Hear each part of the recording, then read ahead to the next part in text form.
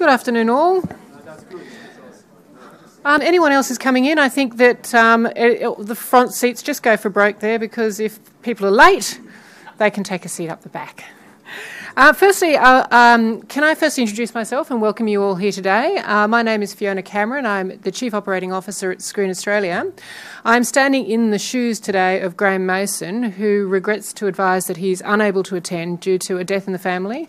Unfortunately, his father in law died yesterday, and he's flown to New Zealand, obviously, to be, to be with the family. So, of course, we are all thinking of him and uh, understand his, his absence here today. Um, look, thank you particularly to Maureen Barron. Maureen. Ah, thank you, right at the front.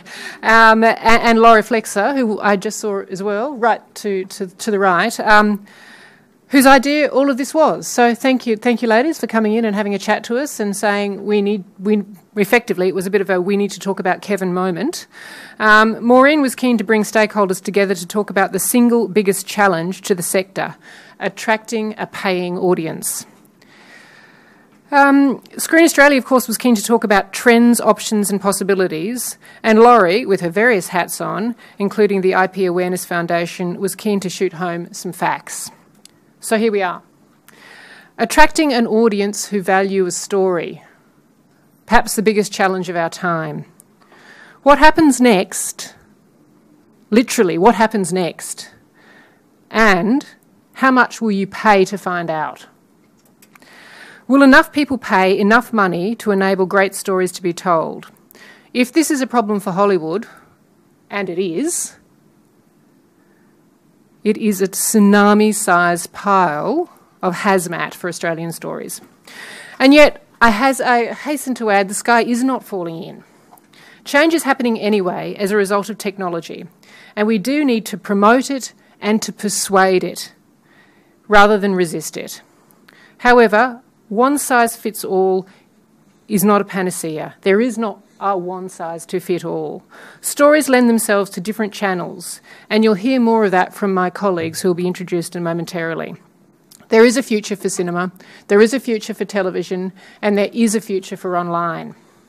Business models will change, and yes, that is frightening if you're currently in an existing business model. But talking about it is a great place to start, and this is a great occasion to do exactly that.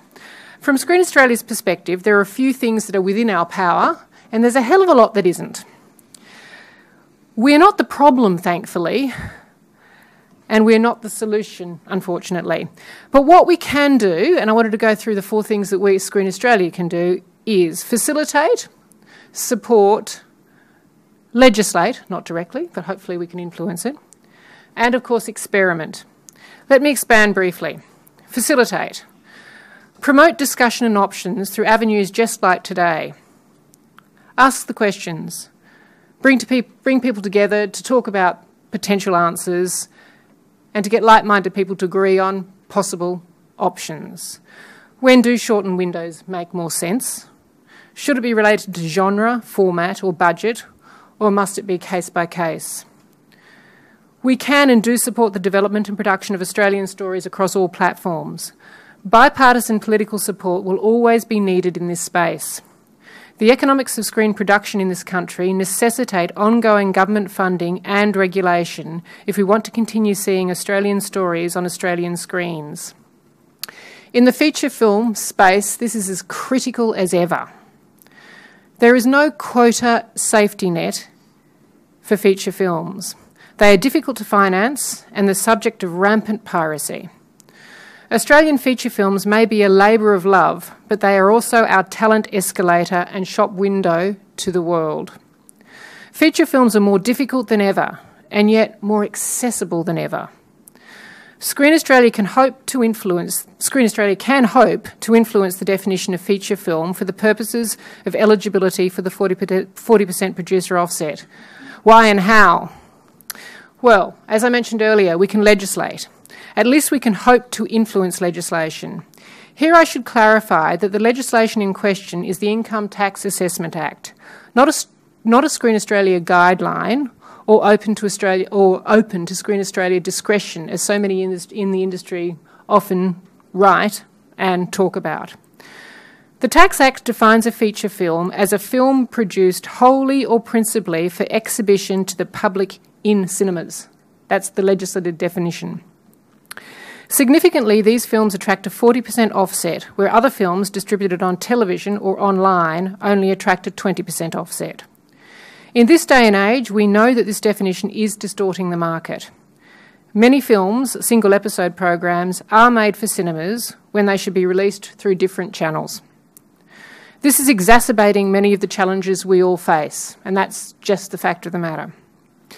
Now, we are discussing with the government a more platform neutral approach to feature film release requirements, which in turn should stimulate foreign investment, remembering that the introduction of the 40% offset for traditional feature films resulted in a 50% increase in foreign investments since the introduction of the film offsets.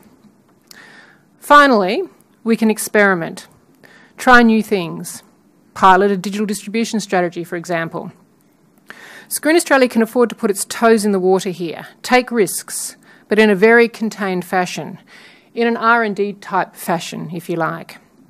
Last week we announced that we would partner with C Pictures as part of our enterprise industry announcement to potentially, potentially release one to two films through a digital distribution pilot scheme.